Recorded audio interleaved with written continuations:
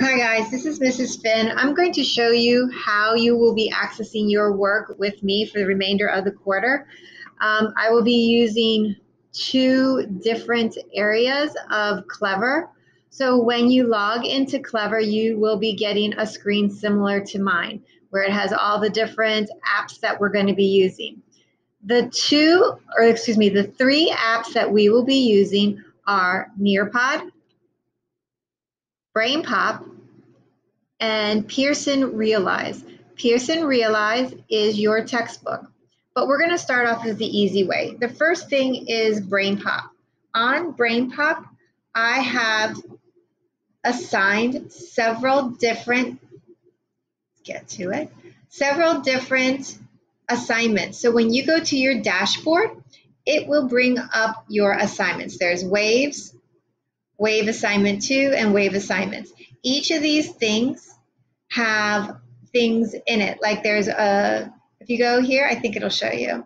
Um, we have a reading, we have a game, and we have a quiz. So there's a movie, reading, game, and quiz for you to do. When you've completed these, you will receive a grade.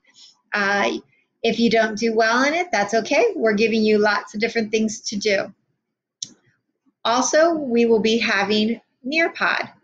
Nearpod is like a slide presentation that you do at your own that is interactive. So there are quizzes, there are activities, and there are readings as well. So when you go to Nearpod on Clever, I will be giving you a Nearpod code. You just have to take the Nearpod code, code and pop it in here, and it's going to let you go to the slide. When you finish with the slide, then I'm going to be get that will also be a grade. There's a quiz at the end of the assignment that's going to count as a grade for you. So we have BrainPop and we have Nearpod that you'll be using as grades. The last one on Clever is Realize. Okay, so Pearson Realize, that is your textbook. When you load into your textbook, I have too many of them, but you will go over here, just click on the Pearson Realize button, and it will take you to this screen. All right, so the green button takes you to your actual textbook. That's if you didn't know what we were doing and you wanted to look around. The red button is where all the assignments are. And the blue button would be as if you took a quiz and you want to know what you got. So we're just going to go over here to the classes because I want to show you what some of the assignments are going to be.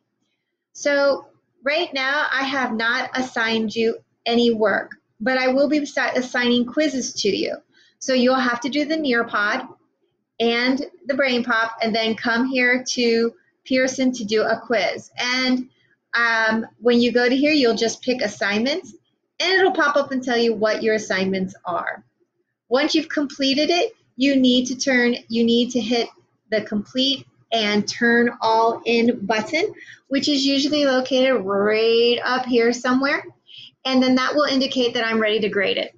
Please take your time on these, but these are the three things I will be giving you grades on. Um, it's not a lot, they're kind of fun, and they're pretty easy if you take your time. But if you don't do any of the work at the end of the week, then I have to give you a zero. And for some of you, this is our way of making sure that you get grades because we do have to give you grades. Um, so anyway, um, also on Edsby, some of you may have noticed I've left here my phone number. Please use this to contact me as I have, um, has a hard time sometimes and it crashes or it gets really busy and I can't reach it. But if you call me on my Google Voice number, I can call you, talk to you wherever I'm at, and answer any question you have. Okay, so if you don't have anything else, you can play this video over and over again. I'll have it pinned over here on this side so you can see it. And then um, any announcements I'll do in the journal area. If you have anything, you have any questions, you can contact me again at 813 445 3088. Thank you, and um, I look forward to seeing you with you soon.